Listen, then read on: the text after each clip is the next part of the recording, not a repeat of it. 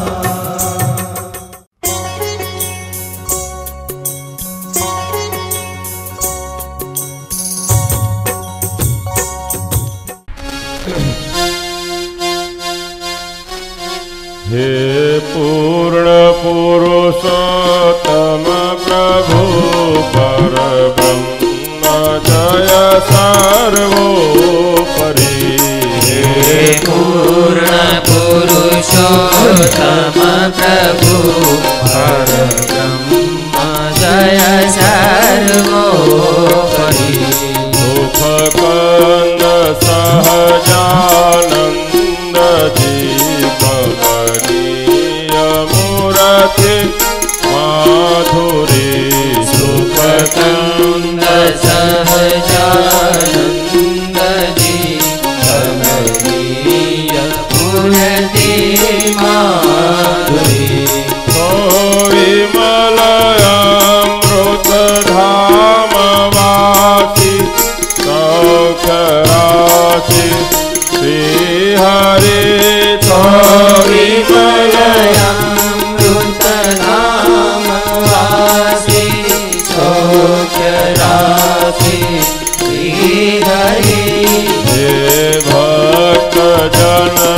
માસી પાળ રાખો.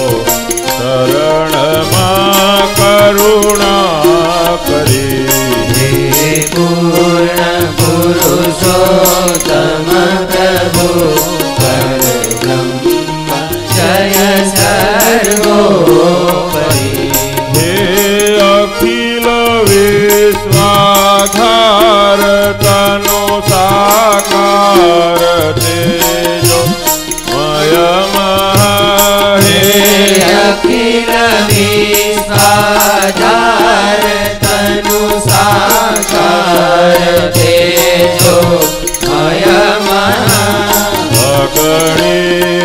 Bhagam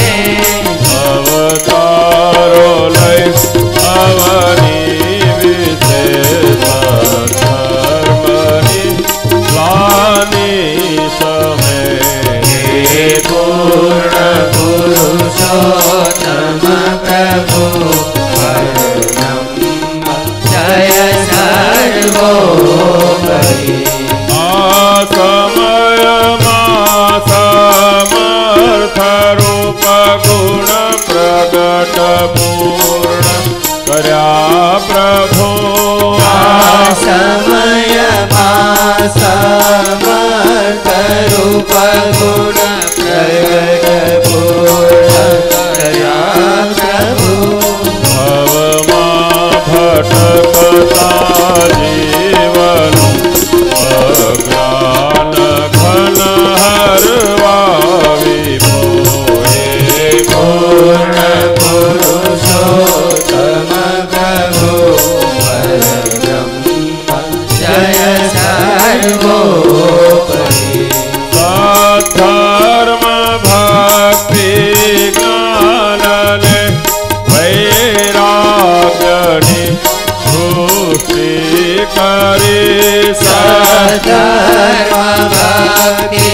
જ્ઞાનને વૈરાગ્યની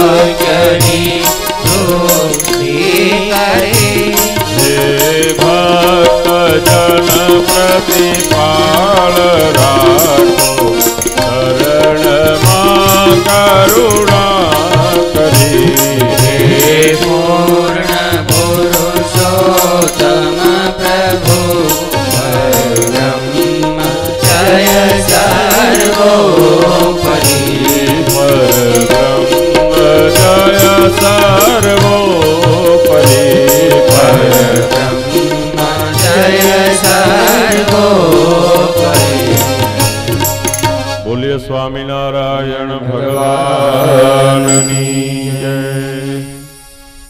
ઈષ્ટદેવ પરાત્પર પૂર્ણ પુરુષોત્તમ ભગવાન સ્વામિનારાયણ મહાપ્રભુની પવિત્ર કૃપાથી પુરુષોત્તમ પ્રકાશ ગ્રંથરાજના સપ્તાહ કથાના દ્વિતીય દિવસના દ્વિતીય છત્રનો મંગલ પ્રારંભ ભગવાન શ્રી હરિના અદ્ભુત ચરિત્રો મહારાજના આ પૃથ્વી ઉપર પધારવાના કારણો. સમસ્ત જીવાત્માના શ્રેયનું રહસ્ય.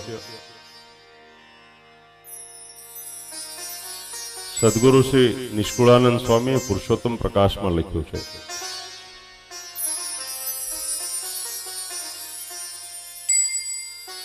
ભગવાનના પ્રાગટ્ય પછીની બાળલીલા અને વનગમનની લીલા માત્ર સૂત્રના રૂપમાં પુરુષોત્તમ પ્રકાશમાં લખવામાં આવ્યું છે.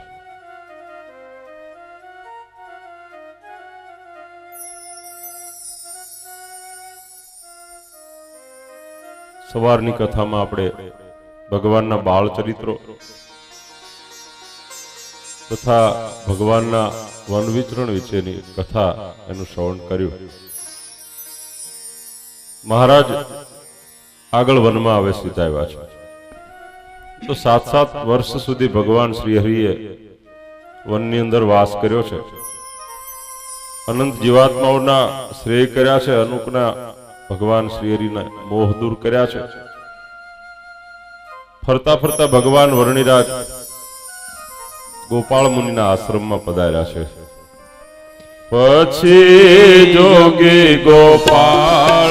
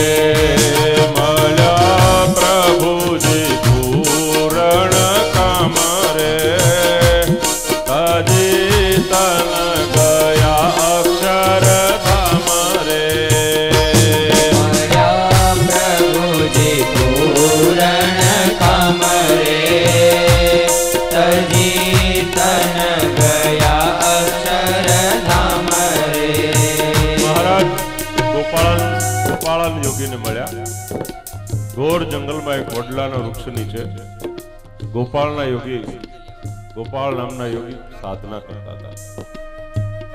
ભગવાન વર્ણિદાસ ત્યાં સીધા આવ્યા. ગોપાલ યોગી ભગવદ્ ગીતાનો પાઠ કરતા હતા અને મહારાજ પધાર્યા.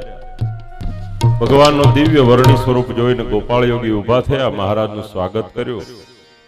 ભગવાન શ્રી હરિને પોતાના આશ્રમમાં રોકાવા જ પ્રાર્થના કરી. મહારાજ ત્યાં રોકાણા મનુષ્ય ભાવે ગોપાળ યોગીને ગુરુ બનાવીને યોગ કળા શીખ્યા ભગવાન શ્રી. નેતિ બસ્તી કુંજર તમામ પ્રકારની જે યોગ કળાઓ છે ભગવાન શ્રી, એક વર્ષ સુધી ગોપાળ યોગીની સાથે મહારાજ રહ્યા. ભગવાન શ્રી હરિના વનગમનમાં કોઈ જગ્યાએ વધારેમાં વધારે ભગવાને વાસ કર્યો હોય, એક જ જગ્યાએ તો ગોપાળ યોગીની પાસે મહારાજે વાસ કર્યો છે. મહારાજે ત્યાં અદ્ભુત દિવ્ય ચરિત્ર કર્યું. આજુબાજુમાં વસતા ગોપાળો એક દિવસ ગોપાળ યોગી પાસે આવીને પ્રાર્થના કરી છે. યોગીરાજ અમારી આજુબાજુમાં અમારા ગાયો અમારા પશુઓને હિંસક પ્રાણીઓ બહુ પરેશાન કરે છે. હિંસક પ્રાણીઓ થકી અમારી રક્ષા કરો. ગોપાળ યોગી મુંજાયા. ભગવાન વર્ણિરાજ મહારાજ સામે બેઠા હતા. મહારાજે કીધું વર્ણિરાજ મુંજાવશો શું? તમારો શંખ લાવો. ગોપાળ યોગીનો શંખ વગાડ્યો. જ્યાં સુધી શંખનો ધ્વનિ સંભળાણો એટલા દૂર દૂર સુધી હિંસક પ્રાણીઓ છે, એ જતા રહ્યા ગોપાળ યોગી પણ ભગવાન સ્વામિનારાયણમાં સર્વોપરી ભાવ રાખી અને ભગવાનનું ધ્યાન કરતા કરતા શરીરને છોડ્યું અને અક્ષરધામમાં પધાર્યા. એવું પુરુષોત્તમ પ્રકાશ ગ્રંથરાજનું અહીંયા કથન છે હો. ગોપાળ યોગી યોગીએ શ્રીમદ ભગવત ગીતા વાંચી હતી ભાગવતના પાઠ કર્યા હતા, યોગ કળાઓ શીખ્યા હતા. પણ સર્વેશ્વર ભગવાન શ્રીહરિમાં પણ એવો જ ભાવ દાખવી અને અક્ષરધામની અંદર સીધા આવ્યા છે. મહારાજ ત્યાંથી આગળ ચાલ્યા છે. પછી નવલખે પર્વત પધાર્યા રે. બહુ જોગીને મૂળ વધાર્યા રે. પછી નવલખે પર્વત પધાર્યા રે.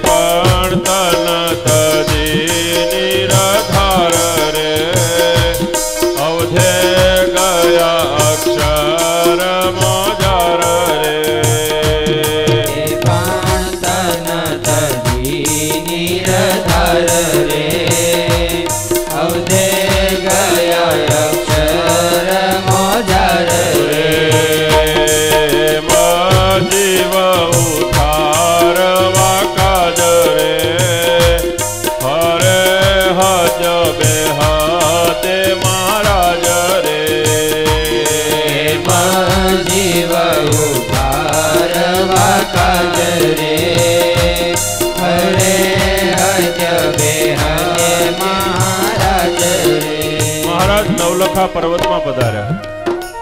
જ્યાં નવ લાખ યોગીઓ યુગોથી સાધના કરતા હતા એમ કહેવાય. સંપ્રદાયના ઇતિહાસની સાથે કંઈક પુરાણનો ઇતિહાસ સમાયેલો છે. એ નવ લાખ યોગીઓ કોણ હતા? એક સાથે એક જ પર્વતમાં નવ લાખ યોગીઓ સાધના કરતા હતા. કેવડો મોટો પહાડ હશે? સ્વામિનારાયણ ભગવાનના સંતોની પરંપરાની વાતો એમ કહે છે. ભાગવતજીના સુખદેવજી મહારાજના પ્રાગટ્યની સાથે આ નવ લાખ યોગીઓના જન્મનો મેળ બેસે છે. ભાગવતજીની કથા એમ કહે છે કે કૈલાસના શિખર ઉપર ભગવાન ભોળાનાથ સતી ભવાનીની કથાનું શ્રવણ કરાવતા હતા. ભાગવતજીની કથાનો પ્રારંભ થયો, ભગવાને શંખ ધ્વનિ કર્યો. જ્યાં સુધી શંખનો ધ્વનિ સંભળાય, ત્યાં સુધી પશુ પક્ષીઓ દૂર દૂર જતા રહ્યા. કારણ કે ભગવાન ભોળાનાથે નક્કી કર્યું હતું, ભાગવતજીની કથા માત્ર સતીને સંભળાવી છે, બીજા કોઈને સંભળાવી નથી. શિક્ષાપત્રીમાં પણ સ્વામિનારાયણ ભગવાને કીધું છે, પાત્ર હોય એને આ શિક્ષાપત્રી દેવી.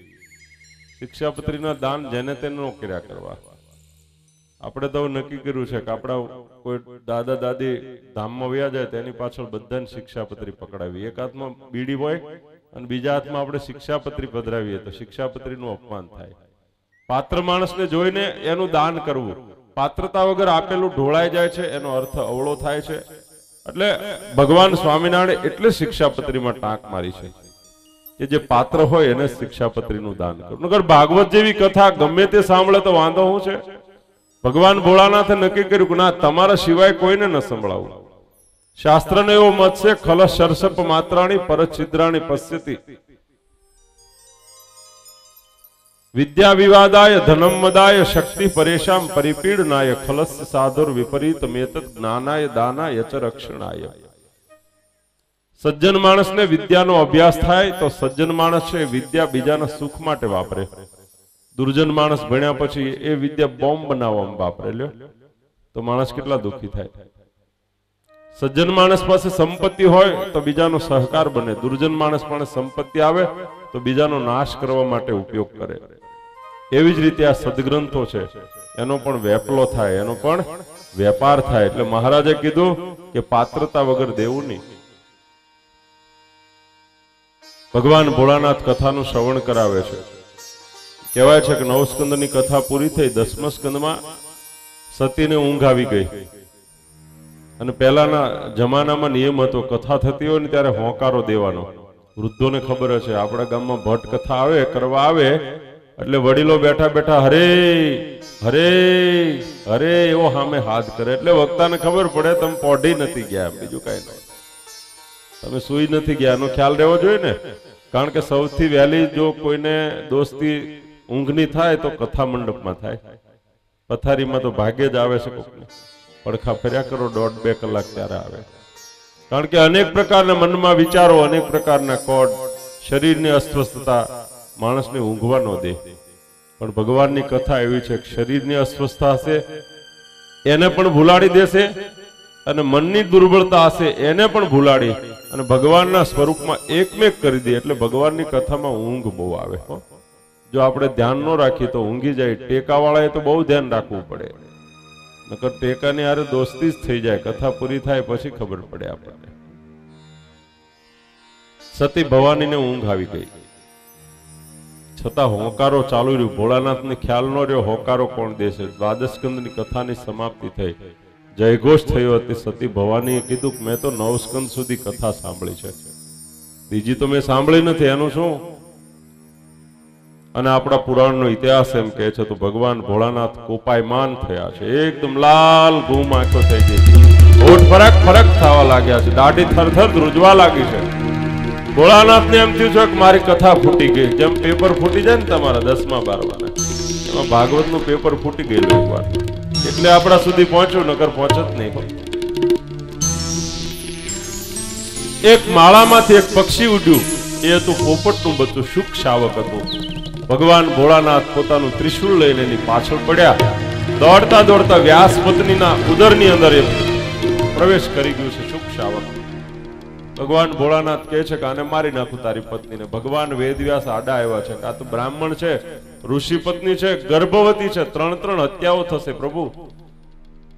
ભગવાન ભોળાનાથ શાંત થયા છે. પણ એમ કહેવાય છે કે ઉદરમાં રહેલું શુક નામનું બચ્ચું. ભગવાન વેદવ્યાસનું સંતાન એના માતાના ઉદરમાંથી જન્મ નથી ધારણ કરતું. સોળ સોળ વર્ષ વ્યતીત થઈ ગયા, પણ બચ્ચું જન્મ નથી લેતું. હંમેશને માટે ભગવાન વેદવ્યાસ પ્રાર્થના કરે બેટા, હવે તો જન્મ લે, તારી માને કેટલું કષ્ટ પડે છે. તારી માતા કેટલો ભાર તારો કેટલા દિવસ સુધી સહન કરશે. અને ત્યારે ઉદરમાં રહીને સુખદેવજી મહારાજે જવાબ આપ્યો છે કે, હું જન્મ ધારણ કરું. ભગવાન દ્વારકાધીશને એમ કહ્યો કે, મારો જ્યારે જન્મ થાય, ત્યારે એની માયાને મુઠ્ઠીમાં બાંધી લે થોડી વાર એટલે મને એની માયા અડે નહીં હો.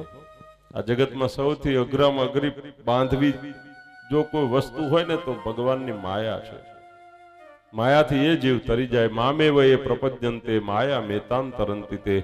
જે ભગવાનનું શરણાગત થઈ જાય ને, એ માયા તરી જાય. અને એના માટે નાનું થઈ જવું પડે, બાળક બની જવું પડે.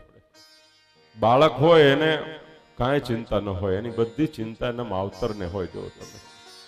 જ્યાં સુધી સમજણું ન થાય, ત્યાં સુધી બાળકની તમામ ચિંતા એના માવતર કરે. જેમ જેમ મોટો થતો જાય, એમ ચિંતા ઓછી થતી જાય. પછી અડધો કલાક મોડો આવે તો કાંઈ વાંધો નહીં, ક્યાંક રખડવા ગયો હશે તો આવશે.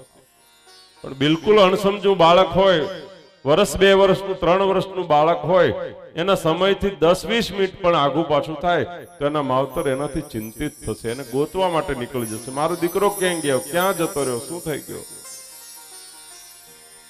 અઢાર, વીસ વર્ષનું થયા પછી તો ત્રીજે દી ગોતવા નીકળે તો નીકળે. કારણ કે ખબર હોય ને કે આ રખડવું ગમે ને આ રખડવા જાય. કઈ ભૂખ્યો રહે નથી. એટલે એના માવતરને એની ચિંતા ન શરણાગત નામ નાનું થઈ જવું, બાળક બની જવું. સંપ્રદાયની પ્રસિદ્ધ કથા છે, વડતાલનું મંદિરનું નિર્માણ કાર્ય થતું હતું મહારાજ વડતાલ પધાર્યા. એક બ્રાહ્મણ આવ્યો મહારાજની પાસે. મહારાજને પ્રાર્થના કરી કે મહારાજ મારે દીકરી પરણાવવાની છે, મારી પાસે કઈ છે નહીં. આપ કૃપા કરીને મારી દીકરી પરણે એવું કંઈક આપો. વડતાલનું મંદિર બ્રહ્માનંદ સ્વામીના માર્ગદર્શન મુજબ ચાલતું હતું. બ્રહ્માનંદ સ્વામીને મહારાજે આજ્ઞા કરી કે, સ્વામી, આ બ્રાહ્મણને ચારસો રૂપિયા આપી દેજો. એ જમાનામાં ચારસો રૂપિયાની વાત છે, હો. ચાર લાખથી પણ મોટા કહેવાય. બ્રહ્માનંદ સ્વામીને એમ થયું કે, મહારાજ તો કે આપણે થોડા દઈ દેવાય. બે રૂપિયા પચીસ પૈસા પચાસ રૂપિયા પાંચ રૂપિયા ભેગા કરી કરીને આ મંદિરનું નિર્માણ થાય છે. કડિયા દાડિયાના પગાર ચૂકવવાના છે. અને બ્રાહ્મણની દીકરીને પરિણામમાં ચારસો રૂપિયા થોડા જોઈએ. એટલામાં તો મોટા તવંગરનું સંતાન પરણી જાય. બ્રહ્માનંદ સ્વામીને પોતાની મિલકત નથી. છે મંદિરનું જ. પણ મમત્વ મહારાજની આજ્ઞાથી ઉપરનું મમત્વ ન હોવું જોઈએ. મંદિરમાં પણ આપણું મમત્વ હોય. પણ એમાં મહારાજની આજ્ઞાથી ઉપરવટ જો મમત્વ બંધાય ને તોય આપણું કારણ શરીર બંધાય અને માણસ જીવ વાસનિક બને. જો મંદિર બનાવવાનો પણ સંકલ્પ ઊભો ન રહેવો જોઈએ. સ્વામિનારાયણ ભગવાને વચનામૃતમાં કીધું છે કે શુભ વાસના યા તો અશુભ વાસના બંને પુનર્જન્મનું કારણ બને. માનો હું એક મંદિરનું નિર્માણ કાર્ય કરાવું છું. અને મેં નક્કી કર્યું છે કે આ મંદિર મારા હાથે જ પૂરું કરવું છે, એની પ્રતિષ્ઠા મારે જ કરવી છે. અને મંદિર પૂરું ન થયું ને પ્રતિષ્ઠાનો અવસર અધૂરો રહી ગયો તો? એ મંદિરમાં પણ આપણું કારણ શરીર બંધાણો, આપણો વાસનામય દેહ બંધાણો. તો આ જીવાત્માને પાછું આવવું પડે. પાછો રીનનું ડાયરેક્ટ મોટું તો થતું નથી. એ રીનનું તો પાછું નાનું એવું ગલુડિયું થઈને જ આવે ને. અને પાછું ક્યાં અવાય એ નક્કી નથી. એ ગમે ત્યાં આવે અને પાછો ક્યારે મેળ આવે એનું કોઈ શાસ્ત્રમાં વિધાન નથી, હો. ભરતજીની કથા અદ્ભુત. ભગવાન સ્વામિનારાયણ વચનામૃતમાં કીધું ભરતજી ભરતજીનું આખ્યાન જેવું ચમત્કારી છે, એવું કોઈ આખ્યાન ચમત્કારી નથી. માટે અને નિત્ય પ્રત્યે વાંચવું. એમ સ્વામિનારાયણ ભગવાને વચનામૃતમાં આજ્ઞા કરી દો રાજકાજ, પરિવાર બધું છોડીને ભગવાનની સાધના કરવા માટે પુલાશ્રમની અંદર ગયા હતા. એક મૃગલીના બચ્ચામાં હેત થઈ ગયું તો ભરતજીને પાછો જન્મ લેવો પડ્યો. મૃગલીને પેટ જન્મા વળી પાછા બ્રાહ્મણને ત્યાં જન્મા અને નિષ્કુળાનંદ સ્વામી તો ત્યાં સુધી બોલ્યા કે અમે રે જળ ભરત જોગ્યા. કદાચ એમ પણ કહી શકીએ ભરતજી પાછા નિષ્કુળાનંદ સ્વામીના રૂપે ઠેઠ ભેગા થયા. અને એટલે આપણે કહેવાની, એક નાની એવી ભૂલ થાય ને એ બહુ લાંબો ટાઈમ નડે. જો તમારો ઉતાવળ સવારે વહેલા આઠ નવ વાગે ઉઠી ગયા અને બહુ ઉતાવળ હોય, અડધું નાયા, ન નાયા, પછી શર્ટ પહેરો અને ભૂલમાં ભૂલમાં નીચેનું એક બટન ઊંધું દેવાઈ ગયું તો? એક ખોટું દેવાઈ જાય તો શું થાય? ઠેઠ સુધી ખોટા દેવાય ને? પછી હરકું કરવા માટે શું કરવું પડે? પાછું એકડે એકથી ખોલવું પડે. એમાં મનુષ્ય જન્મમાં એક વાર ચૂકી ગયા. એટલે પાછી ચોરાશી લાખ યોનીનો આટો માણસ વાઢવો પડે એટલે શંકરાચાર્યજી કહે છે, અંગમ ગલિતમ પલિતમ મુંડમ દશન વિહીનમ જાતમ તુંડમ વૃદ્ધો યાતિ ગૃહિત્વા દંડમ તદપી ન મુંચતી આશા પિંડમ ભજ ગોવિંદમ ગોવિંદમ ભજ મૂઢમત હે મૂઢ જીવ, એટલે કહું છું કે ભગવાનને ભજી લે. એકવાર છટકી ગયા, તો વારો નહીં આવે. પૂજ્ય જગત પ્રકાશ સ્વામી સંપ્રદાયના મહાન કથાકાર, જેમને ત્યાં અમે અભ્યાસ કર્યો. એમની કથામાં એવું કહેતા કે ભાવનગરથી એક ભાઈ રેલવે સ્ટેશનમાં બેઠા, સાથે એમનો છોકરો છે. ભાવનગરમાં રેલવે સ્ટેશનમાં ગાડી ઉપડે ત્યાં છોકરાએ કીધું, મારે કંઈક ખાવું છે. ઓલો ફેરિયા નીકળે ને લઈને, લ્યો વડાપાઉં. જે લઈને નીકળે મારે ખાવું છે અને બાપે કીધું તમને ત્રણ ભાખરી દોઢ સાલ્યું ચા પીધી તે. હજી ઘેરેથી સ્ટેશન આવ્યા ત્યાં ભૂખ્યો થઈ ગયો તો ખાવું છે મારે આપો. ઉપડતી થઈ ટ્રેન, ત્યાં સુધી માથાકૂટ કરી તો બીજું સ્ટેશન આવ્યું અહીંયા મારે ખાવું છે. એનો બાપ એકનો બે નો થયો, એટલે છોકરા એમ કીધું કે, લઈ દો નકર કહી દઈશ. એટલે એના બાપે તરત લઈ દીધું. ત્યાં સુરેન્દ્રનગર આવ્યું. આ મારે આ ખાવું છે, તે ખાવું છે. એનો બાપ કે પણ હમણાં તો ખાધું બેટા લઈ દો નકર કહી દઈશ. કહી દઈશ નામનો મંત્ર બોલે અને એનો બાપો તરત ખિસ્સામાંથી નોટ કાઢે જે માગે લઈ દે. સુરેન્દ્રનગર આવ્યો ને, અમદાવાદ આવ્યો ને, સામે એક સજ્જન માણસ બેઠો તો એને કીધું કે, ભાઈ, આ દીકરો કોનો? તમારો નથી? તો મારો હગો દીકરો. છોકરાઓ તો વેન કરે ભલા માણસ, તમે વારે વારે જે તે વસ્તુ લઈ દો આ માંદો નહીં પડે. પછી દવા કોણ કરાવશે? આ કહી દેશ નામનો મંત્ર શું છે? મને આપો કે મારા ઘરમાં ઘણું કયું નથી કરતા, ગણાય કે. હું તો કે હાવ એમનો વધારાનો થઈને પડ્યો રહું છું. તમને નથી કહેતો? આ તો એની વાત કરું છું. આપણું તમારું તો બધું કયું થતું જ હોય ને. હે? તમે સરસ મજાનું નક્કી કર્યો કે આજ આખા રવિયાનું શાક કરવું તે દિવસ દૂધીનું હોય. હે? પણ હું કાલ દૂધી લાવી હતી, એનું હું એ જૂની થોડી કરી દેવાય. અને ઘણા ઘરમાં હરખું થતું જ નથી. એક ભાઈ પાંચ મણ કેરીનો દાબો નખાવ્યો બહારથી લેવા પાંચ મણ કેરીનો દાબો ના કેરીની સીઝન હાલે છે ને અત્યારે? ચાર પાંચ દિવસે દાબો ખોલ્યો ને તો દસ પંદર ને ચાંદા પડી ગયેલા. એ કાઢી બહાર કે હાલે આ સુધારી નાખીએ બીજે દિવસે ખોલી બીજા દસ પંદર. આખો પાંચ મણનો દાબો ચાંદા કરીને જ ખાધો, બોલો. વિવેક ન હોય તો શું થાય? આપણું જીવન પણ એવું થઈ જાય. ભગવાને આવું મૂલ્યવાન શરીર આપ્યું છે, જો શાસ્ત્રની અંદરથી વિવેક શીખી અને જો આપણે જીવન જીવતા ન શીખી જઈએ, તો આખી જિંદગી કકળી કકળીને ચાંદા વાળું જીવન જીવવાનું. પેલા ભાઈ હું પૂછું કે કઈ દેશ નામનો મંત્ર શું છે ભાઈ, ક્યાં તો ખરો? એક બાજુ બોલાવીને કીધું, બીજું કાંઈ છે નહીં ભાઈ. આ મારો હગો દીકરો છે. આના વરહ થયા છે ચોવીસ. પાની બોડી નથી વધી. એટલે માની ટિકિટ અડધી લીધી છે કે. સમજાણું કઈ એમાં તમને? એટલે એમ કહે છે ટીટી માસ્ટર ને મારું આઈ કાર્ડ બતાવી દેશે એટલે દંડ થાય ને આબરૂ બે જાય એવું છે, એટલે હવે આ કઈ દેશ મંત્ર, મુંબઈ જવાનું છે, મુંબઈ સુધી હાલવાનો છે.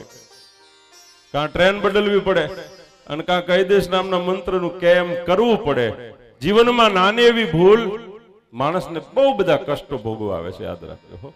ખાસ કરીને યુવાનીના સમયે આપણો ટ્રેક બદલવાનો સમય હોય. ત્યારે ખોટા ટ્રેક ઉપર વ્યસનના, ફેશનના, અન્ય વસ્તુના ટ્રેક ઉપર જો આપણી ગાડી ચડી ગઈ, તો પાછું બળવામાં બહુ વાર લાગે ભાઈ. અતિ સમય લાગી જાય. અહીંયા ઇતિહાસ એમ કહે છે, સુખદેવજી મહારાજ, પોતાના પિતા પરીક્ષિતને માતાના ઉદરમાં એમ કહે છે કે હું જન્મ ધારણ કરું, ભગવાનની માયા મને બાદ ન કરે તો. અને ભગવાનની માયાથી મુક્ત થવું હોય, એને શરણાગત થઈ જવું પડે, એને બાળક બની જવું પડે. બ્રહ્માનંદ સ્વામીને મહારાજ આજ્ઞા કરી કે, સ્વામી, ચારસો રૂપિયા આપી દો ને. બ્રહ્માનંદ સ્વામી બસો આપ્યા. મંદિર એમનું થતું હતું હો, ભગવાનનું થતું હતું. એમાં બ્રહ્માનંદ સ્વામી નહોતા બેહાડવાના. સર્વોપરી ભગવાન શ્રીહરિના મંદિરનું નિર્માણ થતું હતું બસો આપ્યા. મોહ થયો. બારમણનું બાળક તો બસો રૂપિયામાં ટેસ્ટથી પરણી જાય કે ચારસો મહારાજ તો આજ્ઞા કરે, થોડા આપી દેવાય. બીજે દિવસે મહારાજને બ્રાહ્મણ મળ્યો. પગે લાગ્યો, રાજી રાજી હતો બ્રાહ્મણ. છતાંય મહારાજે સહજ ભાવે પૂછ્યું, કેમ? સ્વામી ચારસો આપ્યા બ્રાહ્મણ કે, મહારાજ, સ્વામી બસો આપ્યા પણ ઘણા છે, મારી કોઈ ફરિયાદ નથી. બસો માં તો મારી બે દીકરી પરણી જાય કે. એ તો સમય એવો હતો, બસો વર્ષ પહેલા. પૈસા કરતા પદાર્થ અને પ્રેમની વધારે કિંમત હતી ત્યારે. અત્યારે ભાગવતજીનું મત એમ કહે છે, યસ્યાસી વિતમ જેની પાસે રૂપિયા હશે કુળવાન કહેવાશે, એવો ભાગવતજીનો મત છે. આ કળિયુગનો મત છે, જો તમે. મહારાજ નારાજ બહુ થઈ ગયા. મારી આજ્ઞા થઈ અને મહારાજ લોપી મારી આજ્ઞા? આવું થોડું હોય. મહારાજ બ્રહ્માનંદ સ્વામીને બોલાવ્યા. સ્વામીને કહે છે કે, સ્વામી, તમારે ગઢડા નથી રહે અરે, વડતાલ નથી રહેવાનું. મારી સાથે નીકળવાનું હવારે. બ્રહ્માનંદ સ્વામી હસતા હસતા જોડી ખંભે નાખી દીધી. હોય એને જરાય મોહ ન થયો કે આ મંદિર હું જ પૂરું કરું. આનું નામ નિરાશક્તિ છે, આનું નામ ત્યાગ છે. આનું નામ મહારાજની આજ્ઞામાં વર્તમાનનું ખુમારીપણું છે કહેવાય. નકર સ્વામી એમ કહેત ને, સ્વામી, મહારાજ, આમાં કોઈને ખબર નથી. આ બધું હું ભેગું કરું છું. આ કાલ અટકી જાહે, પૂરું નહીં થાય. પુરુષોત્તમ નારાયણમાં કેવો ભરોસો? જોડી ખંભે નાખી દીધી. પણ મહારાજ નારાજ થાય ન ગમ્યું. સવારમાં બ્રહ્માનંદ સ્વામી, મહારાજ બ્રહ્માનંદ સ્વામીની સામે નથી જોતા, અવળું જોઈ જાય છે. સ્વામીના હૃદયમાં આઘાત, આંખમાં આંસુઓ પડે, મહારાજને કેમ મનાવા અને એમ કહે છે કે બ્રહ્માનંદ સ્વામી સવારમાં વહેલા ઉઠ્યા. મહારાજને બાળક ભાવે પ્રાર્થના કરી. નરસિંહ અવતારની કથા આવે ને, ત્યારે એમ કહેવાય છે કે જે ભગવાન નરસિંહનું વિકરાળ રૂપ હતું ને, એનાથી ત્રિલોકી આખી જાણે સળગતી હોય એવો ભાસ થયો હતો. સ્વયં લક્ષ્મીજી બાજુમાં જવા માટે સમર્થ ન થયા. દેવતાઓએ પ્રાર્થના કરી તમે જાઓ, લક્ષ્મીજી કે અત્યારે નહીં. અત્યારે હું પણ બાજુમાં ન જાઉં. પણ ઇતિહાસ પુરાણ એમ કહે છે કે પ્રહલાદ રમતા રમતા બાજુમાં ગયા અને ભગવાન નૃસિંહનો ક્રોધ શાંત થઈ ગયો. બ્રહ્માનંદ સ્વામી નક્કી કર્યું કે હું પણ મહારાજને કેમ રાજી કરું? મહારાજ નારાજ થઈ ગયા છે. બ્રહ્માનંદ સ્વામી નક્કી કર્યું કે બાળક બની જાય એટલે માવતરને રાજી થવું જ પડે જો. આપણા ગામડાઓમાં પહેલાના જમાનામાં કુવામાં પાણી સિંચવું પડતું હતું. અત્યારે તો ભગવાનની દયા થઈ ગઈ. પછી ડંકીઓ આવી, હવે ડંકીઓ ગઈ ચકલીઓ આવી, ઘરે બેઠા બેઠા. કેવો કેવો સારો કાળ ચાલે છે. કેવો અદ્ભુત સમય ચાલે છે. જેટલા ભગવાન ભજવા હોય એટલા ભજાય એવું છે. બધા કામ ચપટીમાં થવા મળ્યા વલોણા કરવાના બંધ થઈ ગયા. દૂધની કોથળીઓ ઘેરે આવી જાય ડોબાએ ધોવાના ભાગે જ કોકને રહ્યા છે. વાસીદા નહીં કરવાના, લુગડા નહીં ધોવાના, કાંઈ કામ નહીં. તોય ભજન નથી થતું. નકરી સિરિયલો જોયા કરે, સિરિયલ. સવારમાં વહેલા ઉઠીને આપણા બહેનો સરસ મજાના ગીતો ગાતા, કીર્તનો ગાતા ભગવાનના. પ્રાત થયું મન મોહન પ્યારા. અનેક પ્રકારના પદ્યો ગવાતા હવે સવારમાં વહેલા ઉઠીને પહેલા સિરિયલ જોવે. રાતે બાર વાગે નવી કોઈ લોન્ચ નથી થઈ ગઈ ને એમ. આપણે હપ્તો જોયા વગરનો રહી જશે.